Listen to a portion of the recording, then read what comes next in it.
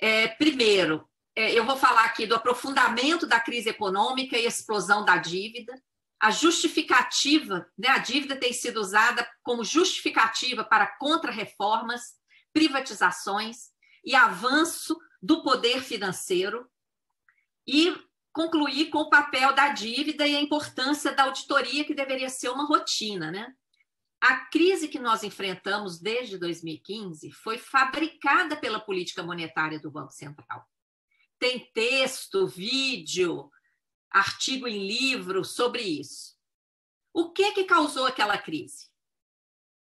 Em 2015 e 2016, o PIB encolheu 7% e nós não tivemos, naquela época, nenhum dos fatores que produzem crise no capitalismo. Nenhum. A economia estava indo muito bem. O PIB, ante, antes de 2014, estava crescendo 7, 8%, a média dos últimos anos, antes de parar em 2014, a média era mais de 4%. De repente, 14 ficou 0, 15, 16 encolheu 7%. Por quê? Se nós não tivemos, naquela época, não teve pandemia, não teve quebra de safra, não teve crise bancária, que foi o que provocou a crise nos Estados Unidos e na Europa, bancos quebrando, a farra dos derivativos lá fora. O, aqui, o, nós somos a nona maior economia do mundo, temos mantido 4 trilhões em caixa, chegamos agora no final de 2020 a quase 5 trilhões a principal causa da crise foi. A remuneração da sobra de caixa dos bancos. Essa foi a principal causa da crise. Essa operação gera escassez de moeda, eleva o juro de mercado. Naquela época, com a Selic a 14%, 14,25% por mais de um ano, o juro de mercado explodiu. Como é que funciona essa remuneração? O dinheiro das pessoas, das empresas e do governo que está nos bancos, está desenhado aí, os bancos são obrigados a separar o compulsório, que eles não podem emprestar, eles têm que deixar reservado. O resto, gente, é sobra de caixa. No mundo todo, essa sobra de caixa retorna para a sociedade em empréstimo a juro baixo. Aqui no Brasil, os bancos depositam essa sobra no Banco Central. Eu achei um documento do Banco Central Europeu lá. Se os bancos depositarem esse excedente no Banco Central, eles são punidos, porque isso provoca aumento da, do juro de mercado, isso aumenta a escassez de moeda. Aqui no Brasil, é por causa disso que o juro de mercado é altíssimo. Tá? E essa operação usa título da dívida pública para justificar a remuneração. Os bancos colocam a sobra de caixa no Banco Central, o Banco Central entrega título da dívida. O que, que o PL 3877 quer fazer? Parar de usar título da dívida. Obrigar o Banco Central a remunerar automaticamente o que os bancos quiserem depositar lá vai virar lei. Aí os, o que os bancos quiserem colocar lá, o Banco Central vai ter que remunerar. Qual o dano dessa operação? Nós fizemos levantamento aqui em 10 anos, temos depois incluir 2020 aí nessa tabela, mas ainda não tem o total do Banco Central, ele ainda não divulgou.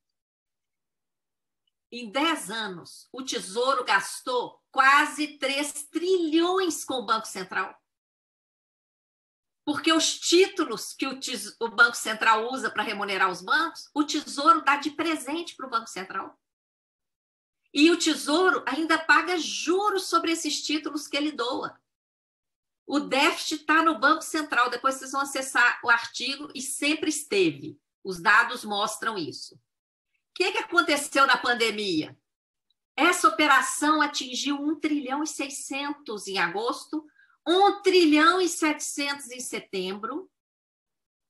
Nós lançamos uma novela, Assalto aos Cofres Públicos, para explicar isso para a população. Depois vocês acessem também. Porque, em plena pandemia, Os bancos receberam 1 trilhão e 200 bilhões para emprestar para as empresas, não emprestaram, deixaram as empresas quebrar, passaram a lucrar, porque esse dinheiro foi parar no caixa, na sobra de caixa dos bancos, e foi remunerado pelo Banco Central. Aí, nesse contexto, vem o projeto 3877, que legaliza esse absurdo e ainda deixa sem limite essa remuneração. Foi vergonhosamente aprovado no Senado, tá? E essa crise fabricada desde 2014 derrubou o PIB lá em 2015, gerou desemprego, as empresas quebraram, mas os bancos bateram recorde de lucro. Se somarmos a provisão que eles fizeram, que sai do lucro, com o lucro confessado, dá um lucro de quase 300 bilhões em um ano, o ano que o PIB encolheu, que as empresas quebraram. Essa crise tem servido para quê? Para aumentar o lucro dos bancos e para justificar as medidas restritivas. Toda essa lista aí, gente, foram medidas aprovadas com a justificativa da crise.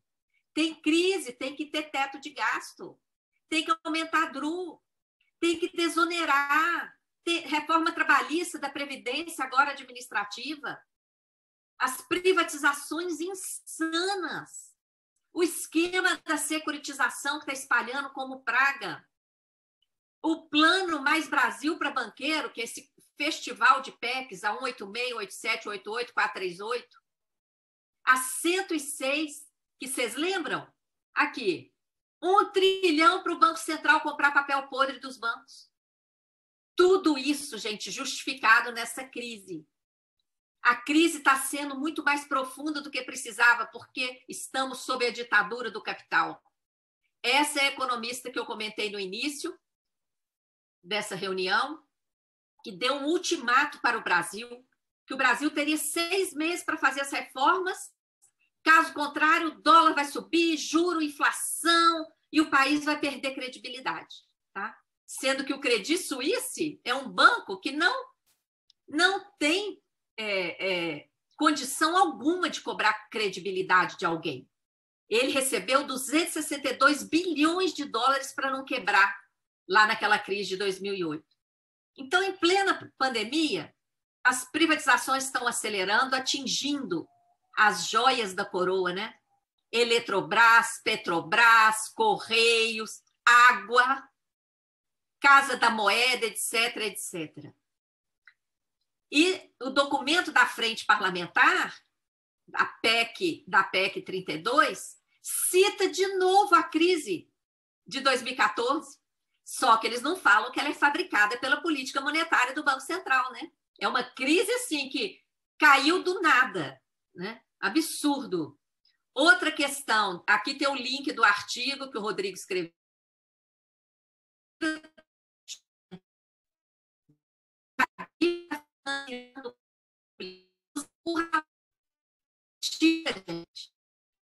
De 2014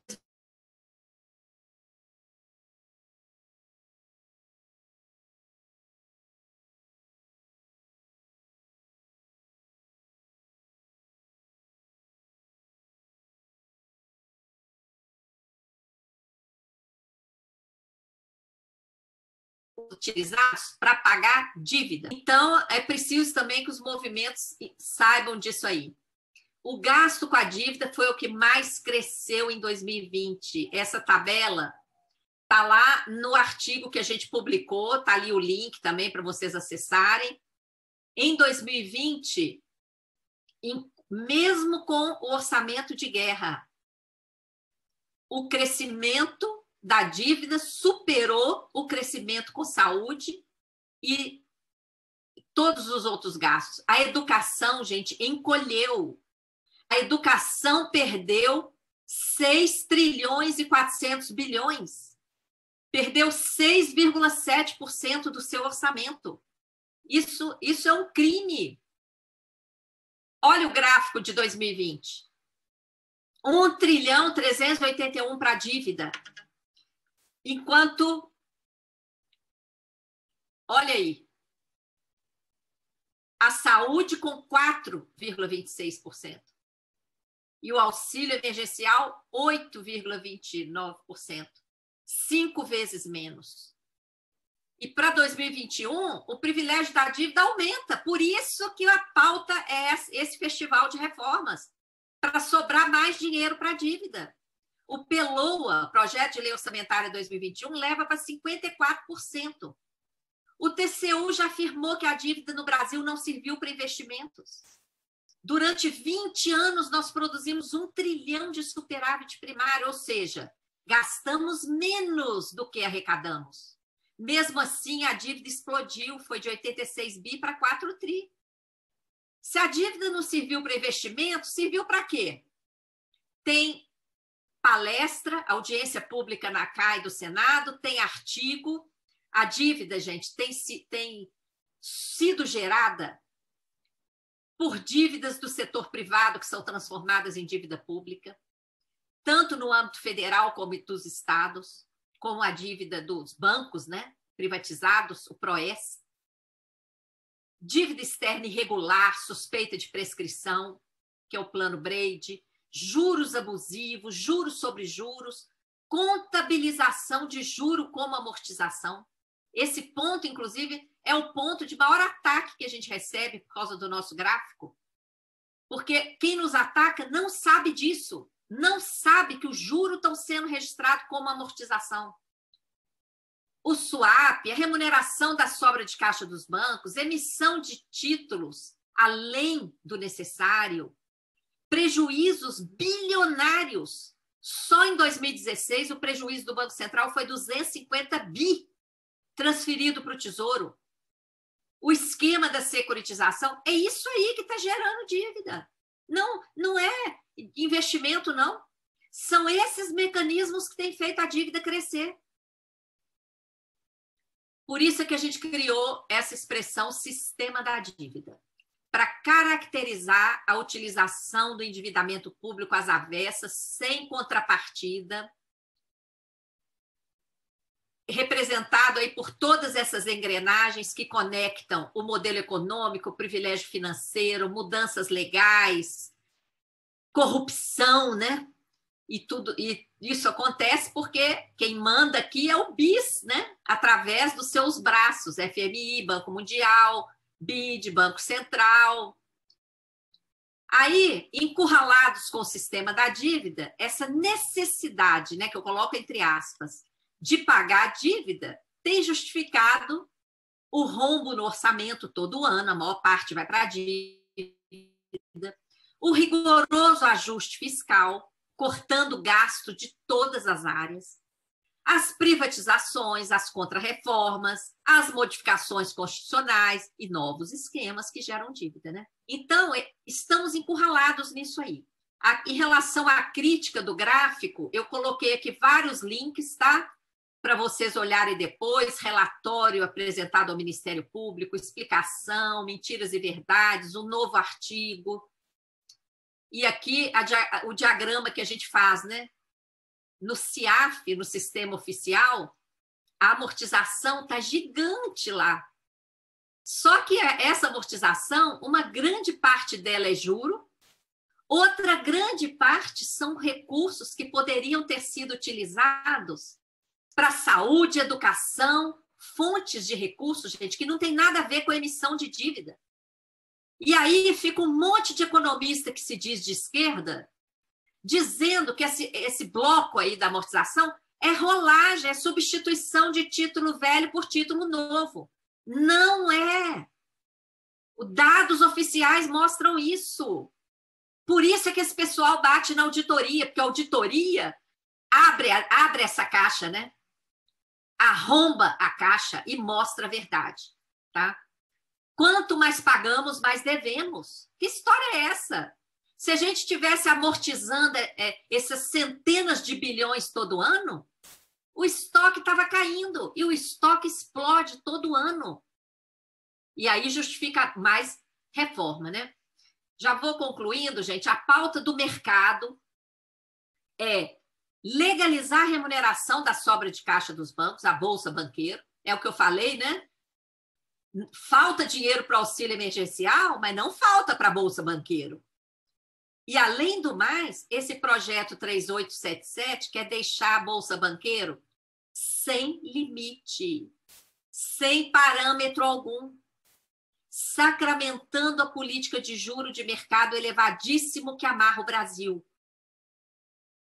Outra pauta do mercado, esses projetos de lei aí 19 e 112 de 2019 para tornar o Banco Central autônomo em relação ao Estado, para ficar bem à vontade para atuar como tem atuado, como uma correia de transmissão de dinheiro público para os bancos.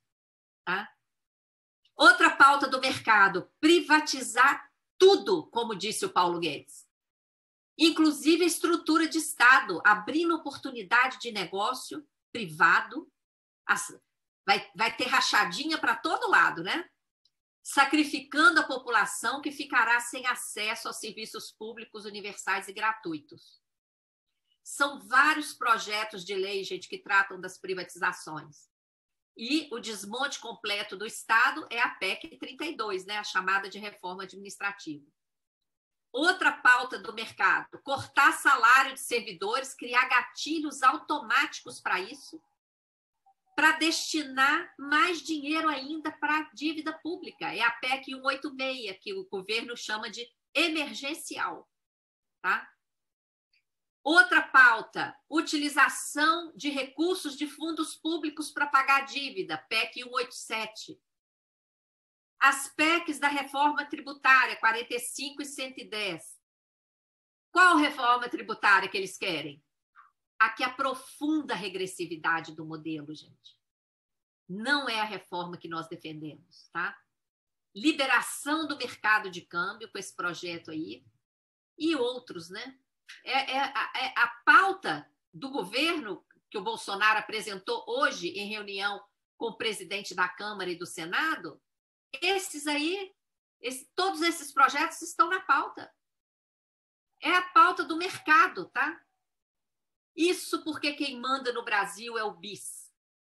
Eu coloco o link aí de dois artigos que vocês podem acessar para conhecer mais sobre o BIS, o Banco Central dos Bancos Centrais, uma instituição privada que fica dando as, as ordens. Por isso que nós queremos virar o jogo. Tem jeito sim. Discordo do que o Nassif falou hoje, que não tem jeito. Claro que tem jeito. E nós vamos virar esse jogo, tá? Para virar o jogo, tem que fazer auditoria da dívida, tem que desmascarar esses mecanismos. Para isso, nós temos que debater as estratégias de ação. Conhecimento dessa realidade, desse modelo econômico errado, da política monetária suicida praticada pelo Banco Central e do sistema da dívida. Então, isso, gente, agradeço. Vou parar